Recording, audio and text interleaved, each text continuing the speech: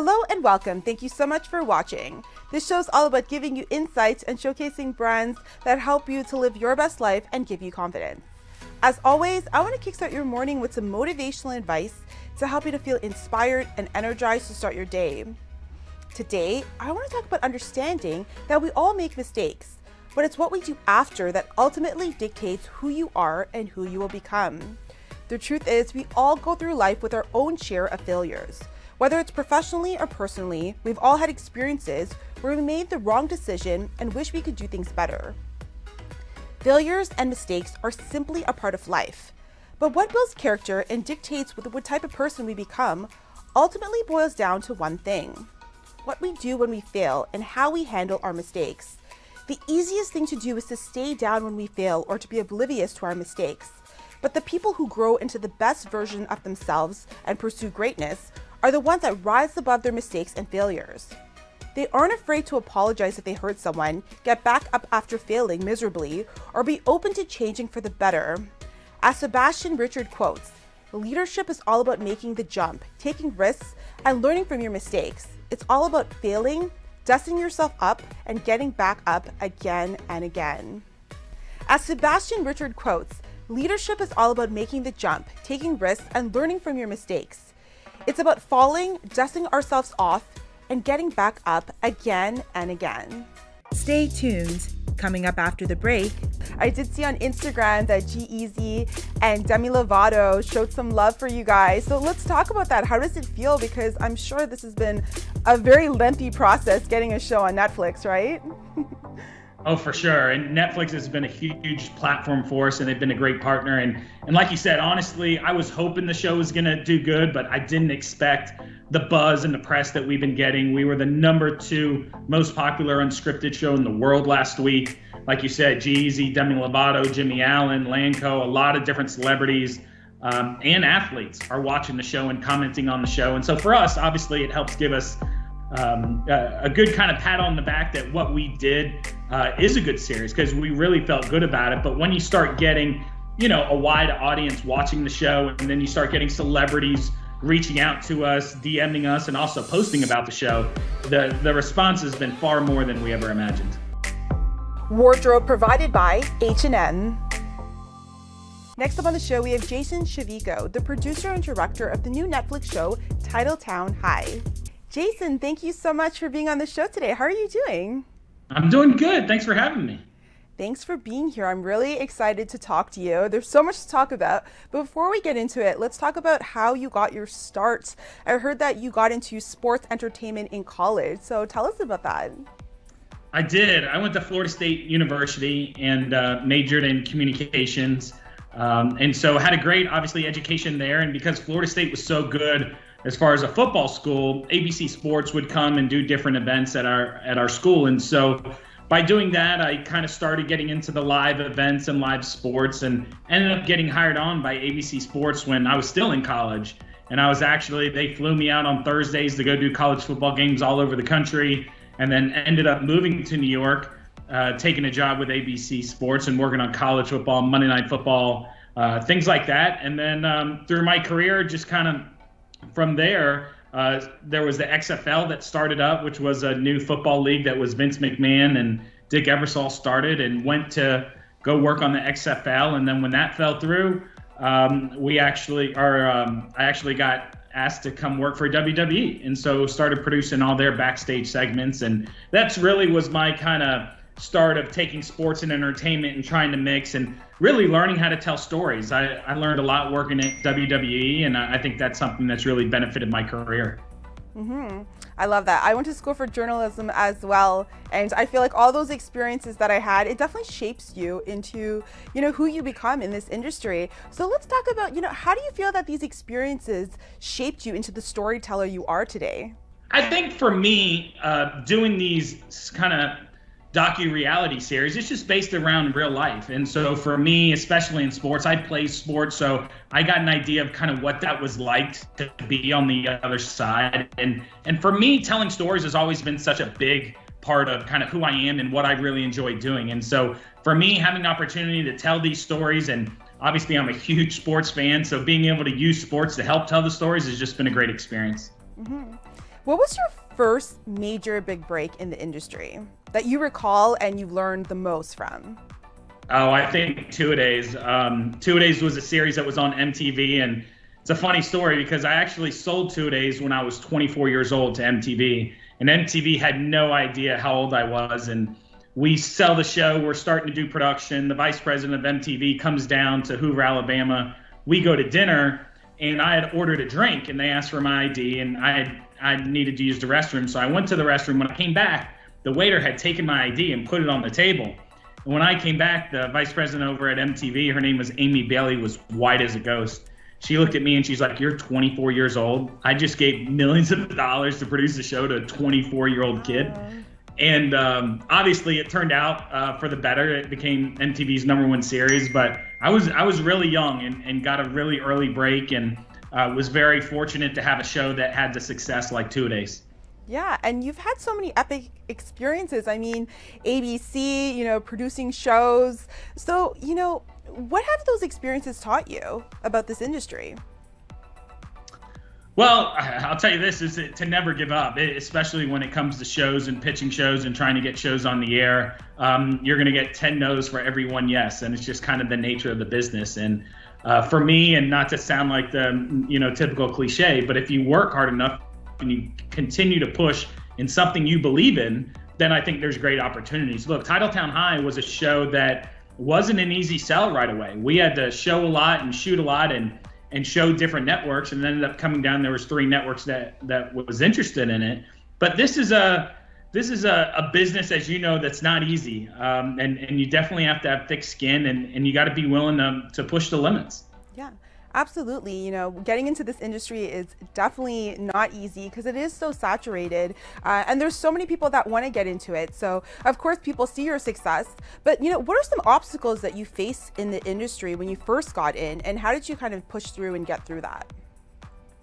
Well, for me, like I told you before, I was so young and that was kind of a huge hurdle easy. Um, I didn't have a ton of experience, but I had a hit series under my belt with two days, and that really helped me kind of in the deals to come. But I, I think some of the struggles is always getting to see, getting these network executives to see the vision that you have for a series. And at networks and platforms now, they're looking for the next big hit, and they're also at the same time scared to not pick up the next big hit and somebody else get it. And so just overcoming obstacles when it comes to kind of pitching and trying to explain your ideas for them to give you a chance because at the end of the day they have to take a chance on you. And i think these networks and platforms now they're really becoming smart and they're investing more into the producers and the directors knowing what type of programs they can do yeah, absolutely. It's definitely challenging pitching your show. I remember when I first got into the industry, I pitched my show to the Huffington Post, MSN, AOL, and I had that first meeting and I was so, so nervous. But they picked it up and they said yes because I was just so passionate about it. And I think passion, like you have, is really oh, yeah. important to succeed in this industry because people will give you a chance if they see that passion.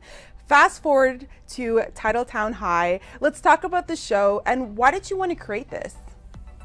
Well, from two days when we did that with MTV, we had Rush Propst. He was the character there, the main character, and Rush and I had always talked about when the time was right to do another similar series. So when he took the head coaching job at Valdosta, my buddy Brian sent me a text that, "Hey, Rush just got hired by Valdosta. Valdosta is the winningest high school football program in the country third winningest uh, winning football team on any level, college, high school, or pro.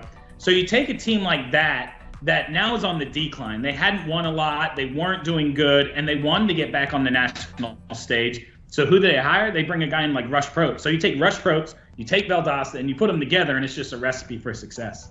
Mm-hmm. And let, us talk about some of the characters on the show. I know they're in high school, so let's talk about the pressures they face. Who are these characters? And I know, and they're also in college football. So let's talk about these characters.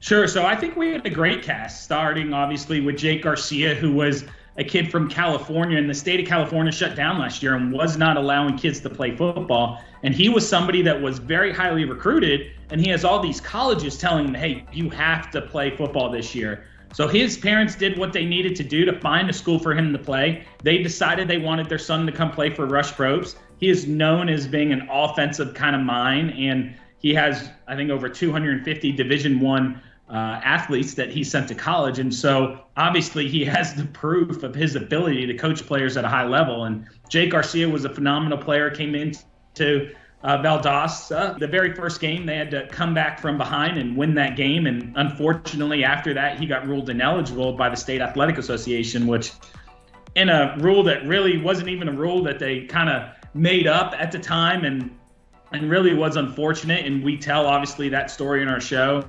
Then you have a kid like Grayson, who's born and raised in Valdosta, always wanted to be a Wildcat, always wanted to play football at Valdosta High School, is really good. Uh, at Valdosta, a lot of 10th graders don't play, and he he was only in 10th grade last year when we filmed this series. And so he had a lot that he was balancing that we liked. He was balancing trying to make the team and start, but then he also had his love triangle, as we call it, with Lindley and Zoe and and kind of the issues that he was dealing with there, which obviously uh, that that story um, was was unique. Let's say uh, I think a lot of people can relate to maybe dating one person but still having feelings for somebody else, and so I think that's what you saw with Grayson. Uh, phenomenal athlete. I think he's been really good at college.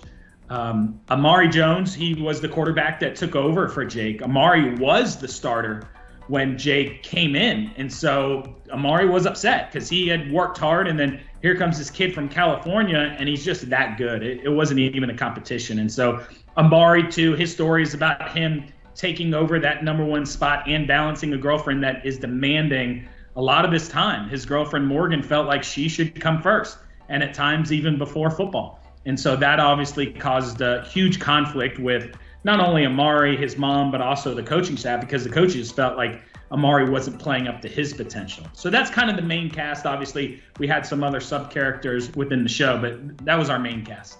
Mm-hmm. And this show has gotten a lot of buzz. I did see on Instagram that G-Eazy and Demi Lovato showed some love for you guys. So let's talk about that. How does it feel? Because I'm sure this has been a very lengthy process getting a show on Netflix, right? Oh, for sure. And Netflix has been a huge platform for us, and they've been a great partner. And and like you said, honestly, I was hoping the show was gonna do good, but I didn't expect the buzz and the press that we've been getting. We were the number two most popular unscripted show in the world last week. Like you said, G-Eazy, Demi Lovato, Jimmy Allen, Lanco, a lot of different celebrities um, and athletes are watching the show and commenting on the show. And so for us, obviously, it helps give us um, a, a good kind of pat on the back that what we did uh, is a good series because we really felt good about it. But when you start getting, you know, a wide audience watching the show, and then you start getting celebrities reaching out to us, DMing us, and also posting about the show, the the response has been far more than we ever imagined. Mm-hmm. And what's the process been like producing and directing this show? Because I'm sure it, it's it's a pretty uh, lengthy process, right? So let's talk about that experience so far. Yeah, it is. Anytime you produce and direct, it's a lot. It's a handful for sure because you're in charge of everything. Obviously, with the series, show running the series, whether it's budgets and hiring and and all those kinds of things, and then you're also responsible for the the day-to-day shots and every scene and how it's shot and things like that. For me, what I've always done is surrounded myself with the best team possible. We had a phenomenal cinematographer, um, Icaro Godoy, who's done a ton of my projects. We had really good supervising producer, and a guy named James Greco who had a lot of experience. We had a, a great team of people from you know myself to the production manager to everybody on our team. We've done so many of these shows that we really are our own team. And so when when i have the responsibility of producing and directing i'm only able to do that because of the team that surrounds me Mm-hmm. That's one of my favorite sayings is teamwork makes the dream work, right? It really does. Having yeah. a great team really, really helps the process. So I can, and, and honestly, the shots and the whole show is so well done, by the way. So I really commend you on creating such a fabulous show. I'm sure everyone wants to know, all our viewers, is, you know, how do you get a show on Netflix? What was the process like? Sure. So the process is very similar to any network, which is the first thing to do is define the story and the subjects that you, you want to tell the story on. Um, and from there, you go in, you spend a few days with them, and then you shoot what's called a sizzle, which is about a five minute kind of highlight reel of what the series could look like. And, and myself, I'm represented by CAA, Creative Artist Agency. And so we work with our agency to to kind of pitch the series to different networks Mm-hmm. And then different networks kind of give you their opinion. For every yes, you get 10 no's. So mm-hmm. that's as I was saying before, you got to have thick skin. But you take that sizzle, uh, pitch it to networks, and then you start having conversations. Every network wants the show to be a little different. And so with us, we were lucky that Netflix not only were the best partner for us, but they had the same kind of mindset of what we wanted the show to be. Mm-hmm. And you know, for our viewers that want to get into the entertainment industry or, you know, just succeed in this industry in any category, what advice would you have? Because you've been obviously very successful. You've worked at such big networks. Now you have a Netflix show. And, you know, so what advice would you have for them just getting in? And um, yeah. I think getting in is, is doing the hard work. Is one thing that I did in my career is is there's not a job on a production that I haven't done. And I think that was huge. And I was told that early on, hey, make sure you don't just know how to produce, you know how to run camera, you know how to do audio, you know how to be an associate producer, you know how to pull cables.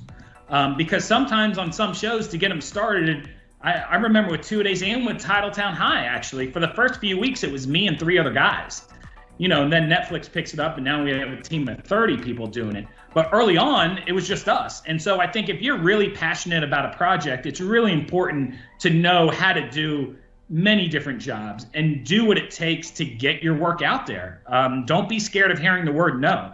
Like I said, I, have heard the word no 10 times to the amount of yeses that I've heard, but that one yes just makes it all pay off. And if you're truly passionate about something, do whatever it takes. Uh, ask friends to help you, ask different relationships to help you, get a sizzle made and get it out there. And if you can't get to the networks, you can reach out to producers like myself. There's a lot of producers out there that would be more than willing to help people um, look, I, I, needed help at the beginning of my career, and I'd love when uh, young producers reach out to me and ask for advice. I'm more than willing to talk to them on the phone or text with them and, and try and help them and steer them in the best direction that I can. But at the end of the day, it's just don't give up. Don't give up because one person told you no, because that may be the next big hit show. Two days was was that show for me. That was my very first series, and nobody thought it was going to do anything special, and ends up becoming MTV's number one series. Yeah. I think that's such great advice because it's so true. So many people in this industry, you know, they're all excited after college, they get into the industry and they get the repeated no's, right? They get no, no, no. And a lot of them give up. Most people give up after that and they say, you know what, this industry is not for me. It's too difficult, but it's the ones that persevere, keep going out there, keep trying. As you said, wearing different hats. You know, I know when I got into this industry, I just wanted to be on TV. But now, fast forward, I can produce, I can write, I could pitch shows, I could do it all. Exactly. And you know, you kind of learn the skills when you're you're so passionate about making it happen. You you learn these skills and that's really what helps you to succeed in this industry so i completely agree and i think i thank you for sharing that because i think it's really important for people to know that you know before getting into yeah. this industry so my next question is what's next for you do you see yourself uh, maybe producing the next hit movie Uh, movies have been talked about uh, within our company. There's uh, two or three different series that we're really excited about right now. There's one that hopefully we can announce soon the partnership that we have. Um, it's not in the sports world. This is something that's a little outside of our box, but it's a series that we've been developing for a couple years now. Um, and excited uh, about who we're partnering with. Uh, I think it's going to make a lot of noise in a lot of ways, and it's going to be a really good series. Um, and then we have some other ser- series that are similar to kind of the Titletown. We have one on cheerleading. Uh, we have another one that we're looking into on uh, basketball, high school and college basketball. And so for us, our our next few months looks looks pretty busy, which I'm I'm so thankful for. Obviously, in, in today's world, you just never know what you're going to get, and we've been very fortunate uh, um, to have some great opportunities ahead of us. Amazing, Jason! Congratulations on everything on Titletown High. It's a, a, great series, and yeah, we're we're excited to see your next projects, and we hope to have you back on the show soon. Yeah, I'd love to come back. I'm a big fan of yours and your show, and love what you're doing, and so thanks for having me on and, and appreciate all the love. Tag TV is available on Roku, Amazon Fire TV, Apple and Android TVs, as well as on Apple and Android phones. Watch us live through YouTube and Facebook.